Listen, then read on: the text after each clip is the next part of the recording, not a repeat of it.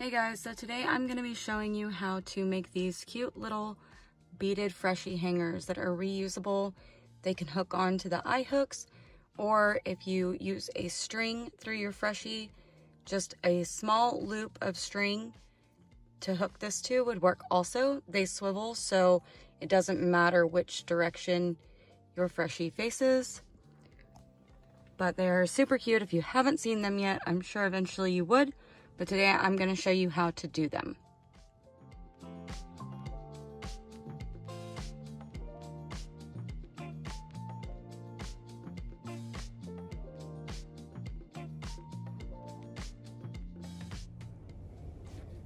So for these, you're gonna need a couple of different supplies, a pair of scissors, these little lobster claws. The link for these is in the description. Some beading string. This is like a, an elastic, like a fabric elastic. This is also linked in the description. And then some type of beads. They can be the plastic bubblegum beads or they can be the silicone beads. I'm gonna do both different variations in this video, but really this is preference on both size, shape, color, you know, all of that good stuff. So to start, we're going to take about two feet of our beading string and fold it in half.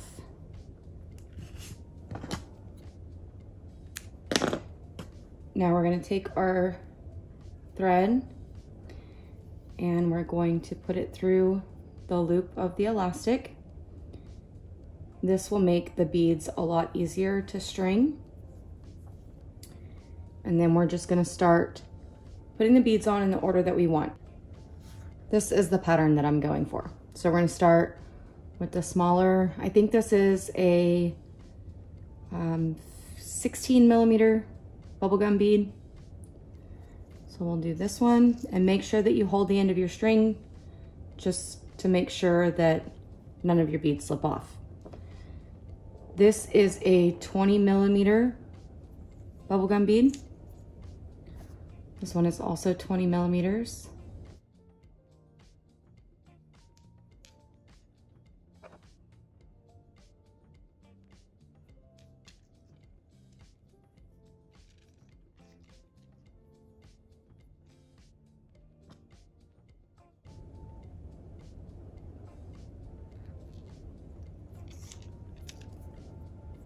All right, once you've got them all on here, we can get this thread out of here.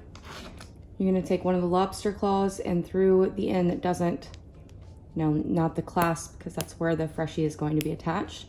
To this other ring, you're gonna bring the loop through, and then you're gonna bring the loop up over all of your beads.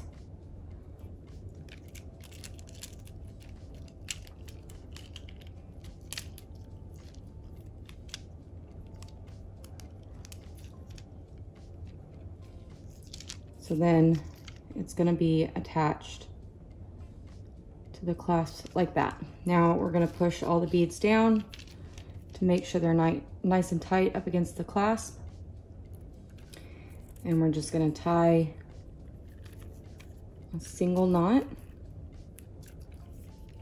so that the beads are secure.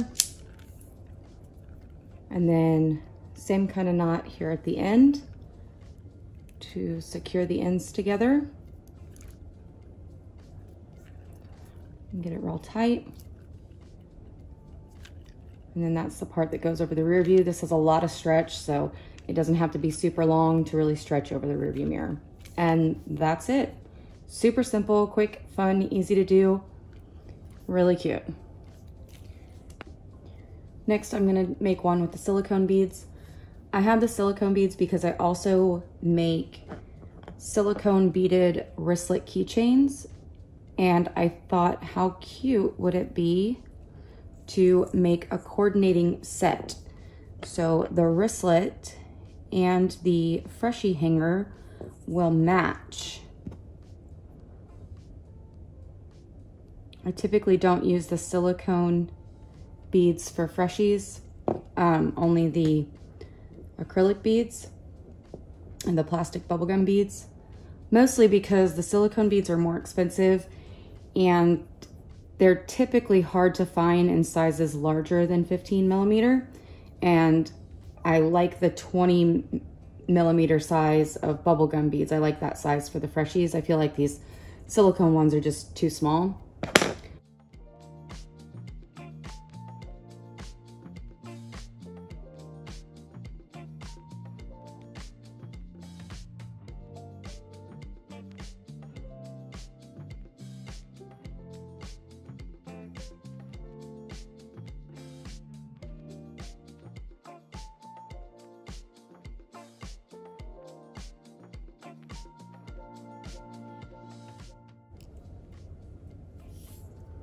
So this would be the hanger that matched with the little wristlet.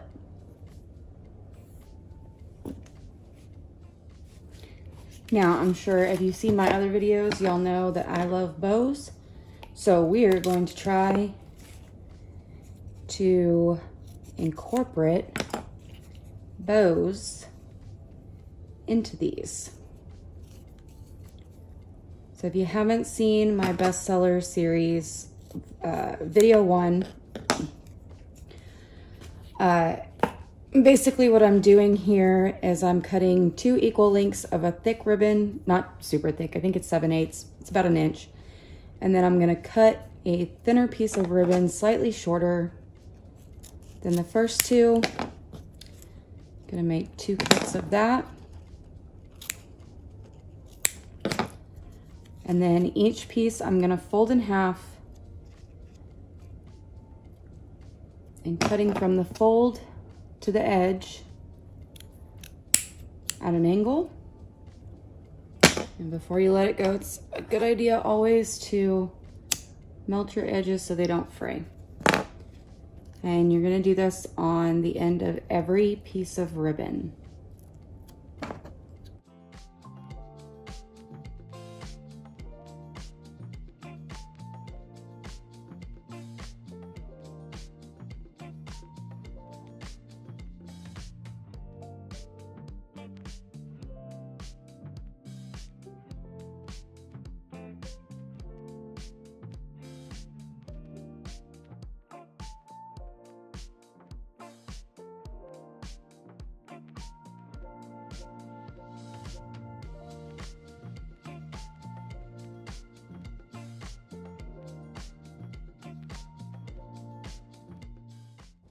Okay, now that we have them all cut, I'm gonna start by crisscrossing the two thicker pieces and then alternating the direction of the next layer, crisscross these on top. I'm gonna take a piece of strong, durable button thread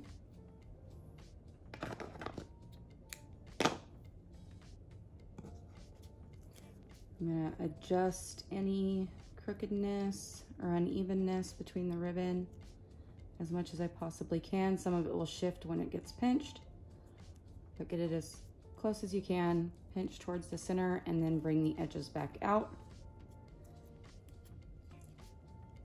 Hold that while taking the button ribbon, or button thread, excuse me, and wrapping it around tightly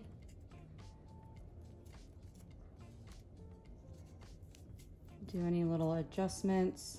I'm gonna put one regular knot, like the how you would start off tying your shoes in the back.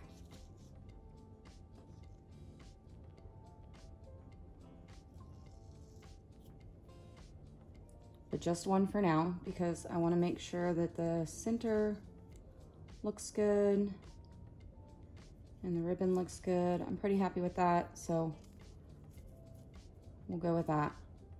And I'm just gonna do that same type of knot two more times in the back.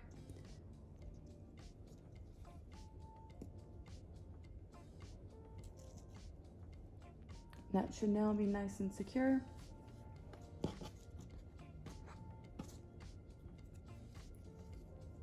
I'm gonna cut most of my additional string off.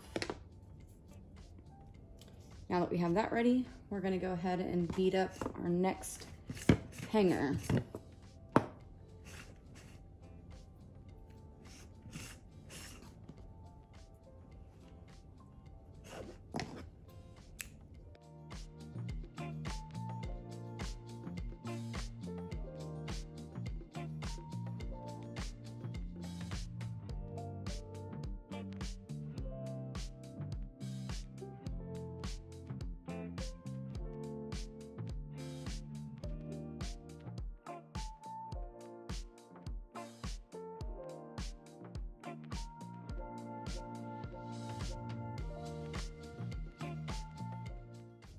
So for the next step, I'm gonna do everything the same, except I'm going to add this little bow beneath my beads.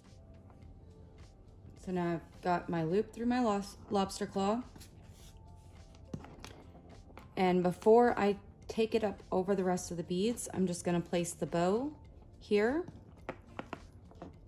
and then I'm gonna bring the beads through.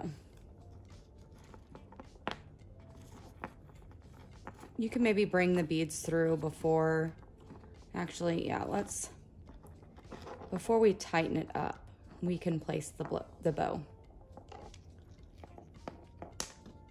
So just by, before you tighten that loop around the lobster claw, just take your bow, poke it through, and tighten it down.